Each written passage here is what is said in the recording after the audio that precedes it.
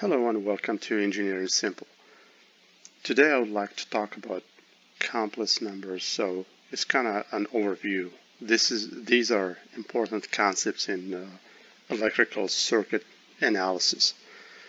So this might be helpful for those preparing for the FE or PE as well as uh, engineers or students. So so a complex number is can be written in the form as as say C is a complex number is equal to A plus J times B. A and B are real numbers. Real numbers like 2, 3, negative 1, so on and so forth. J is a complex quantity defined such as such that j squared is equal to negative 1 or j is equal to square root of negative 1 so this is kind of it's it's one of the properties of complex numbers because usually you don't hear square root of negative num uh, of a negative number. But this is this is allowed in complex number. Let me just add some space here.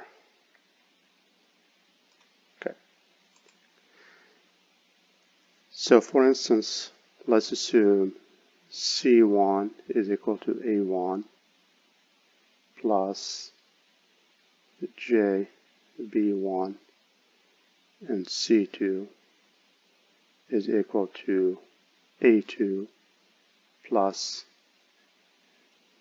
JB2. So if we want to add C1, so C1 plus C2 is equal to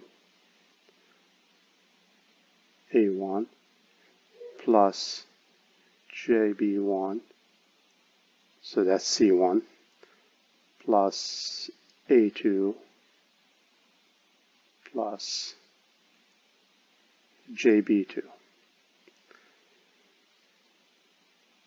So if we rearrange the quantities, if we add the real parts together in the what what's called the imaginary parts. Basically, the term that has j is called an imaginary part. So then we would get a1 plus a2 plus j times b1 plus b2. So I'm just going to add space. So that's add into complex numbers. And this is important in electrical engineering because you might have an imp two impedances and you want to sum them up if they are in series. So you will have a real number, which is a resistance, and an imaginary part, which is reactance. So we'll get that, we'll get to that uh, in a different recording. But for now, let's just brush up the complex number uh, concept. Now if I want to do subtraction, so if I take C1, so C1 minus C2, again C1 is just A1 plus JB1, so I have minus, now I'm going to do C2, so it's A2 plus JB2. So I'm just going to simplify. So I have A1 plus JB, JB1 minus, minus A2 minus plus is minus minus J B2. So I'm going to rearrange. So the real parts. So it's A1 minus A2 plus j times B1 minus B2. So that's subtraction.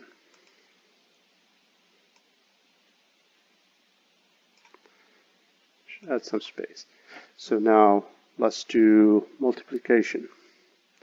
So C1 times C2. So C1 is just A1 plus JB1 times A2 plus JB2 which is equal to A1 times A2 is just A1 A2 A1 times JB2 is just plus J A1 B2 JB1 times A2 is just plus J A2 B1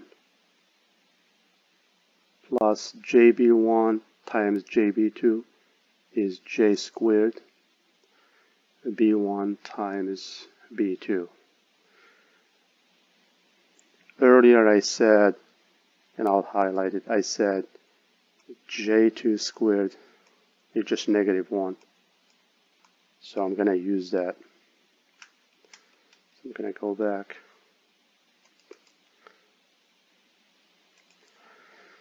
So we can rewrite this as A1, A2 plus, I can simplify this J A1, B2 plus A2, B1 minus J squared is just minus 1. Minus 1 times times B1, B2 is just B1, B2. So I'll just simplify. I'll just rearrange this. So I'm just going to add the parts that don't have J term the, together then the terms that have a J term. Let's see. So it's A1, A2 minus B1, B2 plus J A1, B2 plus A2B1.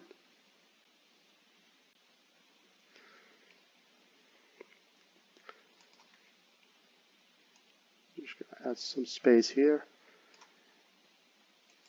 So for division C1, C1 divided by C2, I'll talk about that later uh, in the next video when we introduce a new concept. It's called complex conjugates because you need that to get rid of the j term from the denominator. So that's it for this video.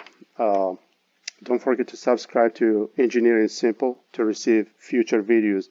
Next videos, I will discuss graphical representation of some complex numbers, like how you can do uh, addition and subtraction just via graphical representations. Uh, and I'll also talk about Euler's identity and more complex number operations. These concepts, as I said earlier, are very important in electrical circuit analysis, and it will, it will become more obvious when we talk about impedance and power. That's it for today. Thank you. Uh, thank you for watching this video, and uh, have a good day.